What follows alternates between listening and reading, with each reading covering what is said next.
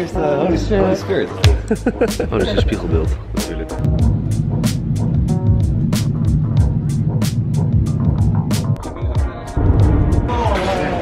Ik ben Jos van Oort, theoloog, heel lang predikant geweest.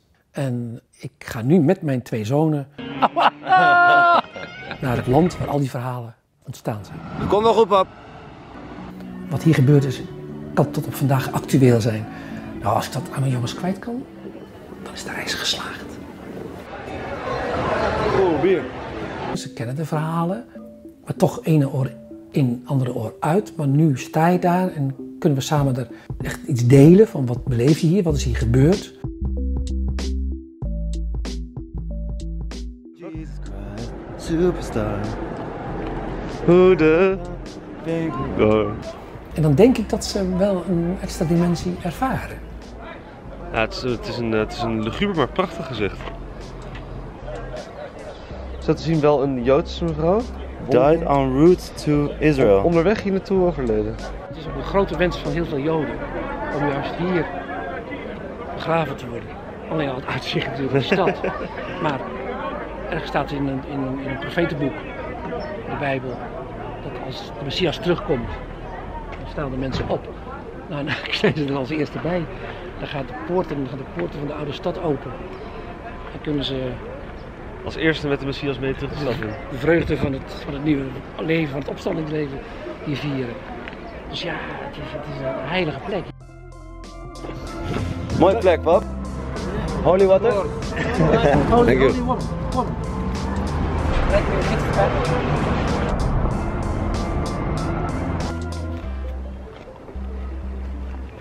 Ehm, En hier zegt de traditie, eh, huilde Jezus over de stad. Samen met zijn leerlingen was hij eh, onderweg geweest naar het noorden, weg naar Jeruzalem om daar Pesach te gaan vieren. Ja. En hij kwam hier en hij zag die stad en huilde, alsof het ook een beetje voorgevoel heeft van wat er gaat gebeuren. Maar verdriet, verhuilen, ja, waar, waar huil je tegenwoordig om? Hè? hey. Ja. Nou, ik eh, kan ook wel eens huilen zoals Jezus denk ik huilde, over de wereld. En eh tenminste, ik weet niet of ik er echt eh, bewust thuis om gehuild heb, maar gewoon hoe het met de wereld gaat. Dus ook hier, ligt hier op die hele Kijk, berg. Op die berg camera zoveel rotzooi. Kijk even hier waar we nu staan. Plastic. Ja. Het is een hele mooie plek, maar het geeft wel een mooi contrast. Is, hè? de- ja, dat is de plek waar, eh, waar de discipelen werden toegesproken. En, eh, en, en daar gooit, eh, gooit men dan tijdens het bidden dan eh, zijn plastic weg. En dan denk ik ook van ja, dan, dan, dan weet je ook niet zo goed. Ja. Ja, ja. Het is niet, mensen zijn niet bewust genoeg van hoe mooi dit allemaal is, denk ik. Gewoon de wereld. De wereld, ja zeker. Had jij ook wel eens dat het eh, geloof eh, minder wordt? In de, dat, men, dat de kerken leeglopen en zo? Is dat ook iets om over te, over te huilen voor jou? Ja, niet zozeer, niet zozeer ja, de kerken leeglopen, maar wel dat de verhalen verdwijnen. Me wel eens triest. Dat mensen niet, niet meer weten waar wij nu voor, voor zijn hier. Om die verhalen weer eens een beetje op te duiken. In het diepste van onze geheugens. Ja. En dan vind ik het wel eens jammer dat die verhalen die hier ontstaan zijn, die teloor gaan. Dat die, eh, maar ik ben altijd optimistisch. Het blijft, de verhalen blijven verteld, maar het wordt wel steeds minder. Wie is Mozes? Wie is, wie is Abraham? Mensen Wie is Jezus? Het raakt het op de achtergrond. Het hof van Gethsemane gaan we heen. Waar Jezus die laatste dagen eh, was. Ja, bij die oude, oeroude olijfbomen kan ik alleen maar stil zijn. En wie weet komt het ook over op mijn jongens. Deze muur is heerlijk koud. Mooi om jullie dat, eh, dat stuk uit Marcus eh, voor te lezen. En ze gingen naar een plaats genaamd Gethsemane. En hij zei tot zijn discipelen, zet je hier neer, terwijl ik bid. Blijf hier en waak. En hij ging verder en hij wierp zich ter aarde en bad dat indien het mogelijk was, de uur aan hem zou voorbij gaan. En hij zei, Abba, vader, alles is u mogelijk, neem deze beker van mij weg.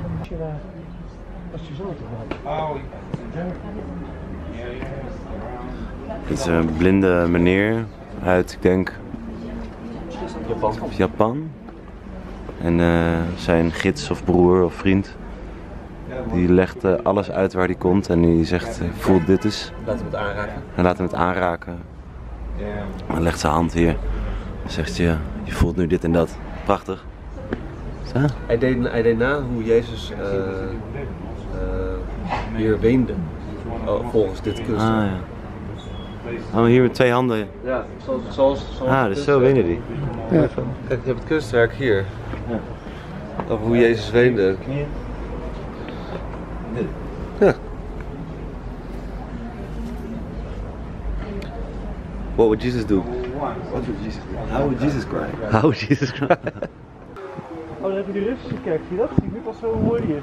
Ja, Maria.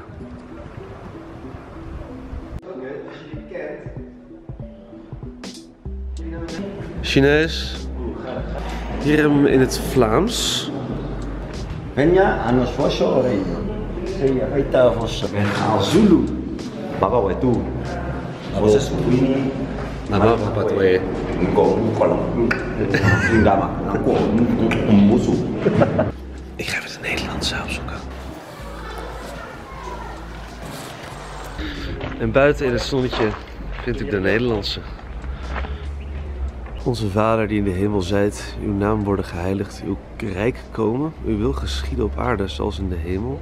Geef ons heden ons dagelijks brood en vergeef ons onze schuld, zoals ook wij aan anderen hun schuld vergeven. En leid ons niet in bekoring, maar verlos ons van het kwade. Amen. Toch iets anders dan dat ik heb geleerd. Persoonlijk wist ik niet dat er ook eh, christenen zijn onder de Maori-bevolking.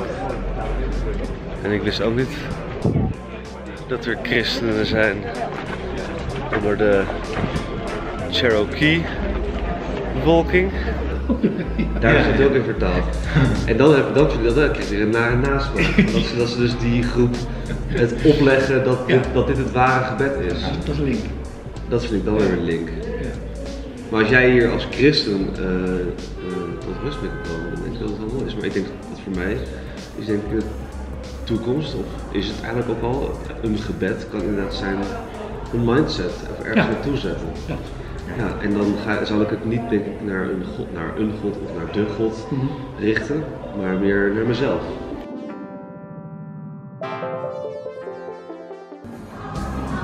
Jezus! En eigenlijk is heel dat geloof van ons begonnen in dit landschap. Hoe lang geleden Dirk? Jezus. Oh, sorry, Jezus. Ja. Nou, Jezus heeft ook gelopen. Kijk dan, gigantisch.